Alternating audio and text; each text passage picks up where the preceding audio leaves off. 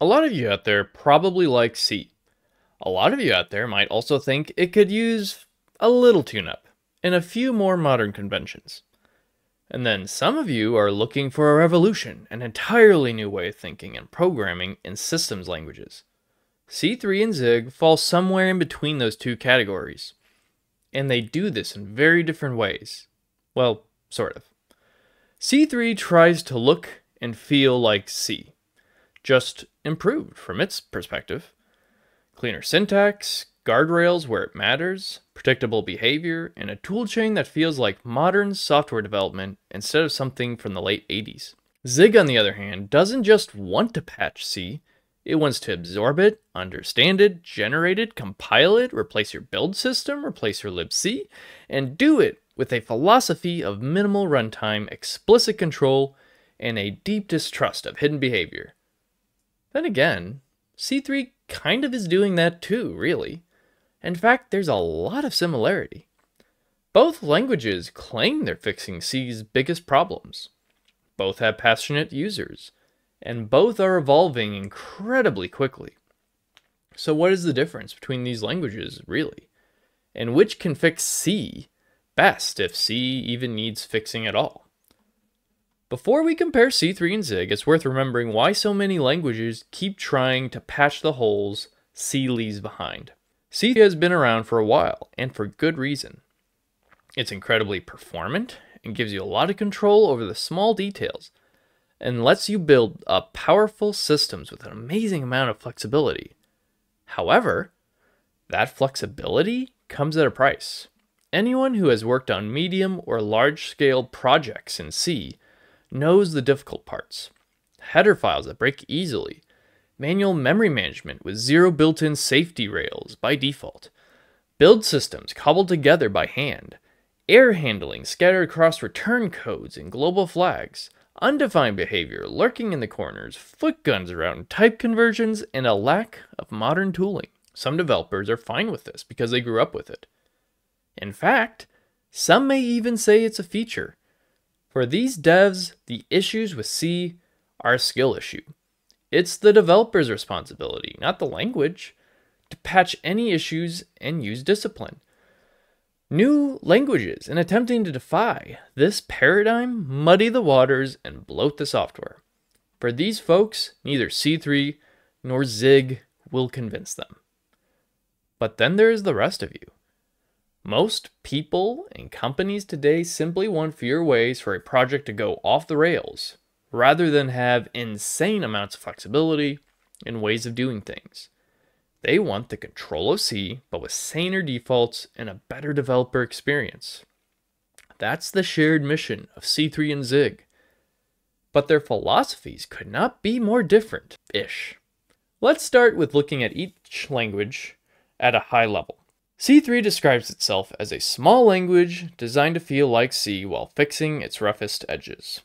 The goal isn't to reinvent systems programming. The goal is to keep parts people like the predictability, the ABI stability, the bare metal nature, and give developers a more modern toolbox. The core ideas behind C3 are straightforward.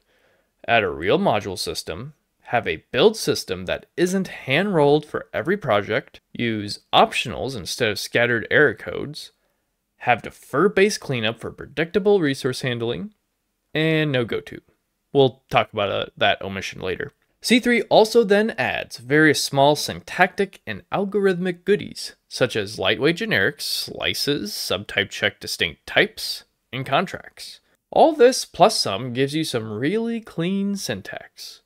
There's also better defaults for safety without rewriting everything. The end result is a language that feels familiar if you've spent years writing C, but removes a lot of the daily friction which might also feel alien if you're the last group scowling at me. C3 is kind of like simplifying the manual transmission in a car and adding a lot of new features while removing some others. You might get a cleaner experience that is somewhat familiar, but you might notice some things missing if they've been staring at you for years. That being said, C3 is actually not that revolutionary. It deliberately keeps the mental model of C, it keeps the compile model simple, it keeps the runtime non existent, it keeps the ABI compatible enough that you can call C libraries without any ceremony, It just expects you to let go of some things.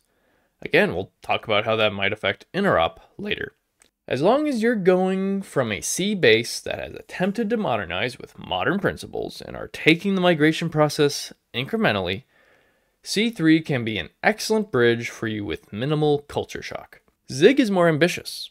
Some would say aggressively ambitious, but not so ambitious to have gotten the ire of C folks yet, unlike poor Rust. Rather than smoothing C's rough edges, Zig essentially attempts to grow beyond it and yet work with it. You can think of Zig as equal parts language, toolchain, cross compilation, platform, and build system. If C3 is a refinement of something known, Zig tries to be an ecosystem in a box. Zig's central ideas include no hidden control flow, no undefined behavior that goes unaccounted for, and explicit memory management with optional allocators you can swap at will. Zig has a compile time language built directly into the language itself, plus a direct built in C compiler that can replace Clang in many scenarios. It even has the ability to import C headers directly and use them as if they were Zig code. It has a build system written in Zig itself, replacing Make, CMake, Ninja, and others. And it has a standard library that avoids footguns by design rather than tradition. Wait, wait, wait, wait, you say. You said that C3 was very different from Zig. This sounds really similar. And it even has C interop. Well, right, it actually is quite similar. But the devil's in the details, including the marketing. Zig doesn't shy away from complexity. It wants to give developers every tool possible to bend their system to their will. It's designed around the idea that C's biggest problems aren't just syntax, they're the patchwork of external tools, compilers, build systems, and libraries that grew around it over decades. Zig's answer is to unify all that into one coherent system, where C3 tries to refine C Zig tries to supersede it. The deeper difference between C3 and Zig is philosophical. C3 says we can make C nicer, we can modernize it without breaking the mental model. Zig says C is too fragmented, we should rebuild the world on better foundations. Both are valid approaches. The question is which one aligns with what you want from a modern systems language. Let's zoom in and break down each major feature of these languages and figure out just that. First, handling errors. Zig and C3 do approach this differently, and at the same time, not so much. C3 uses optionals and defer try patterns. Errors flow naturally through the type system. If a function may fail, it returns an optional. If you forget to unwrap it, the compiler reminds you. Defer allows cleanup to happen predictably, avoiding a lot of duplicated code and go-tos. Zig uses explicit error enums, something like this. Every error function that might error must declare it. There are no exceptions, no hidden behavior. Every error must be handled or passed up the chain. That gives developers total visibility into failure paths, but the cognitive load is higher. You have to decide what to do with every error as you write the function. But there's a twist. Zig also has defer and error defer. This means you can get a very similar program flow to C3 using Zig. For teams that like having that kind of control over every detail, Zig's model is appealing. For teams that prefer something more lightweight, ergonomic, and somewhat more opinionated, C3 feels more natural. The build systems of these languages are both pretty modern, and actually quite different. C3 has a simple built-in project format, project.json. You describe your files, dependencies, and flags. Then you run C3C build or C3C run. It's straightforward, it's structured, keeps everything in one place. Most importantly, it removes the need to cobble together make files or CMake lists just to get started. No magic, but also no reinvention of the universe. Zig's build system is its own language, literally Zig code. You write the build scripts with full access to the Zig language, meaning you can configure builds programmatically, generate files, orchestrate cross compilation, embed assets, or create complex pipelines. It's powerful and actually quite familiar in some ways if you're used to the build scripts of C. But for some developers, it feels like a lot of machinery when all they want to do is compile a program. The trade off is clear. Zig gives you ultimate control, C3 gives you convenience. It also has the difference of whether you want a build configuration in C3 or a build script in Zig. Neither C3 nor Zig tries to be Rust. Yes, I know many of you are jumping for joy over this. Both maintain manual memory management, both keep you close to the hardware, but they reduce risk slightly differently. C3's approach includes stricter type checking, safer conversions, slices that know their length, contracts for runtime validation, and cleaner defaults that remove many of C's classic traps. Zig's approach leans into explicit memory ownership. No hidden heap usage, error unions, and even defer for failure paths, compile time execution for validation, and a strict stance against silent, undefined behavior. Zig safety comes from transparency. If something could be dangerous, Zig forces you to acknowledge it. Both approaches reduce mistakes, but Zig demands more discipline from the developer. Before we continue, you may be noticing something here. The radical here, Zig, is starting to sound more like C than C3 is. That's one of the more ironic things about this. The supposedly incremental and C like language diverges in some ways more than Zig does. But we're not done yet. There are still some interesting differences here that might change your minds. Let's see. One thing both have going for them is tooling. The Zig compiler can compile C and Zig, import C headers directly, cross compile out of the box for dozens of targets, replace Clang in many cases, and provide a unified workflow for building entire toolchains. This is why many companies increasingly use Zig not necessarily as a language, but as a build orchestrator and cross compiler. C3's tooling is more modest, but more focused. It doesn't try to be a platform, it just tries to make C style development more pleasant. That said, it's very similar and can do some of what Zig does. Before we get to interoperability, there's another design decision that matters for anyone porting real world C the fate of GoTo. C3 intentionally removes GoTo. The reasoning is simple. Most uses of GoTo in C appear in error handling and cleanup patterns situations that C3 replaces with defer, defer try, and structured error propagation. Removing goto eliminates unstructured control flow, reducing cognitive load and making code easier to reason about. But it also means that porting messy C code sometimes requires rewriting the control structure instead of translating it literally. There's also maybe a case for keeping goto, but we won't get into that here. Let's just say its removal has been controversial, to say the least. That said, C3 does include break and continue, which do the same thing, but with some nice labeling added. With that, you can simulate some of your goto sections, but you still won't be able to do a drop-in replacement, unfortunately. Zig takes essentially that approach as well. It doesn't expose a raw goto, but it does provide labeled blocks, break, continue, and other structured tools like defer that can emulate most practical uses of goto without enabling the guns. Zig preserves enough flexibility to model C's behavior for interop, but not so much that developers can introduce impossible to follow jump paths.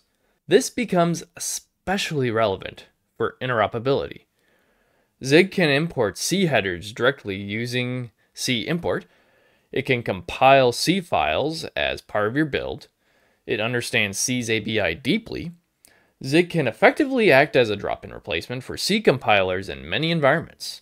C3 aims for ABI compatibility and straightforward FFI. You can call C code cleanly, and C code can call C3 code with minimal ceremony. But C3 doesn't import headers or parse them. You declare what you need manually, it's simple, predictable, and stable, but less automatic. Zig is better for deep integration with existing C projects. C3 is better for rewriting C code in a cleaner, safer style. Let's talk about performance, one of the biggest practical questions for systems developers, and yet maybe less relevant than we think. Both C3 and Zig aim to match or beat the performance of C, but they take different paths to get there. Zig uses LLVM today as its primary backend. That means Zig can target a wide range of architectures with mature optimizations and code generation. On top of that, the Zig project is also developing its own custom self-hosted backend. The goal is to eventually reduce the dependency on LLVM, speed up compilation, and gain finer control over the output. LLVM gives Zig global optimizations and well-established instruction selection. The Zig backend promises compile time speed, predictable output, and more consistent tooling. C3 also uses LLVM as its backend, but C3 doesn't focus on rewriting the compiler pipeline or reinventing the backend. It simply relies on LLVM's decades of maturity for code gen and optimization. The goal is not to outperform Clang in every corner case, it's to offer predictability. When you write straightforward systems code in C3, you get performance that behaves like optimized C, where Zig leans into advanced compile time features and allocator abstractions that can influence performance depending on how they're used. C3 keeps the model simple, fewer knobs, fewer traps, and fewer cases where compile time behavior subtly changes runtime speed. In other words, you can't really go wrong with either one in the performance department. The story so far with these two languages is this. Zig aims to give the developer maximal control, even if that control comes with complexity. C3 aims to give the developer minimal surprises, even if that means fewer advanced features. So, where are these languages in terms of popularity and growth? As of 2025, both languages continue to evolve. But Zig undeniably has more visibility. It has more contributors, more funding, more ecosystem growth, and more general awareness. It has been used in game engines, embedded software, OS tooling, and cross platform build systems. C3, meanwhile, is smaller, but it has been moving steadily, shipping regular releases, refining the spec, and gathering a following among developers who want something that feels like a natural ish successor to C without Rust's learning curve or Zig's philosophical purity. The difference, to some extent, is who we're trying to please here. Zig is trying to reshape the ecosystem, but around something that ironically feels much more like traditional C. C3 is trying to modernize experience, even if its evolution is leaving behind some perceived vestigial appendages. And oh boy, do some C developers like those appendages. Both languages address C's shortcomings, but they fix different things. So who is really fixing C, and in the best way? It depends on what you believe C's biggest problem actually is. If you think C's main flaw is its day to day ergonomics, C3 is the closest thing to a modernized C, but it had to make some cuts to get there. If you think C's biggest flaw is the decades of scattered tooling surrounding it, Zig is the more transformative yet conservative answer. It is surprisingly much more C like than C3 even claims to be. If you think C needs both safety and tools, you can't really go too wrong with either language, but each has the trade-offs I mentioned previously. C3 and Zig aren't competitors in the conventional sense, they're two different interpretations of the same problem. Both are valuable, both are evolving, and both will probably play important roles in the next generation of systems programming. Thanks for watching. So, what do you think? Do you think that Zig is actually the true C fixer slash successor? Do you think I mischaracterized C3 as a charlatan C? Or do you think neither is really the right answer here? Leave your comments below. And if you found this video to be a valuable comparison and breakdown, do like and subscribe for more techie talk from the Techy Shop. If you like this video, watch this video here for more tech talk.